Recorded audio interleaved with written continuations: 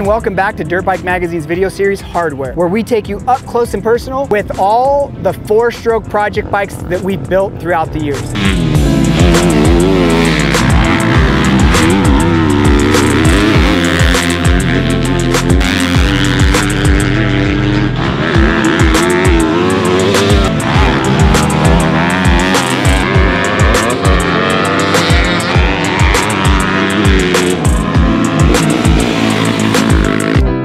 This project bike we appropriately call the Gray Ghost, and it's a 2021 Yamaha YZ250F. We wanted to add a little bit to this motorcycle. The bike comes stock, a pretty good overall package. It's had a lot of success on the professional level this year, but we think we can make it better. So we enlisted the help of the crew at Race Tech. Now you might think Race Tech is all about suspension, but they also have a fully functional and capable engine department that can do engine rebuilds, can do porting, head jobs, anything you need basically on the engine, they can do in-house at Race Tech. Suspension and the engine went to Race Tech. We decided to upgrade some of the other parts with, for handling wise, we put FCP Racing engine mounts on to kind of make it a little bit, little bit more pliable. We wanted to change the look of the motorcycle, so we used UFO all gray plastics, and then Decal Works topped off the new look with a semi-custom graphics kit.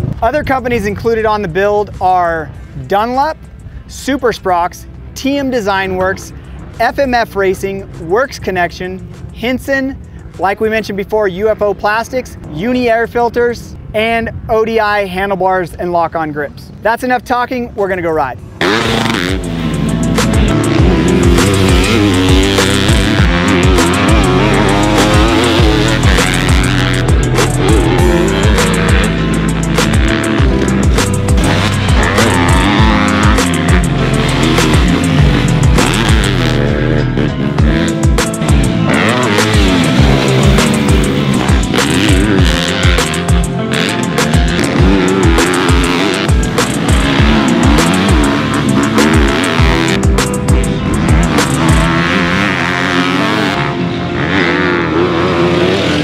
Like we said in the beginning of this video, making this Yamaha YZ250F better was gonna be tough.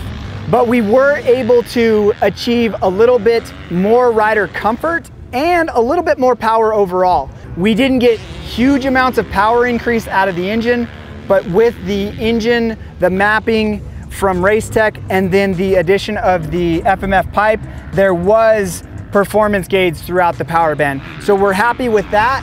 If you want really big gains on engine performance, you're gonna have to spend a fairly substantial amount of money. That's not where we were at with this particular project.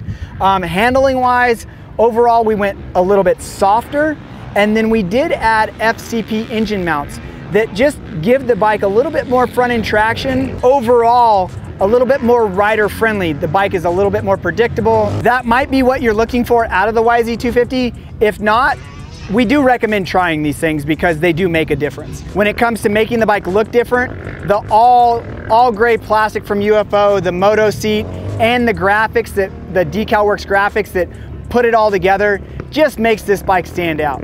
For the complete story on this particular build, head over to dirtbikemagazine.com to check out our behind the scenes feature. And we just got done testing the TE300i and the Beta 250RR. Go check those videos out and don't forget to hit that subscribe button to stay up to date on all of our latest releases.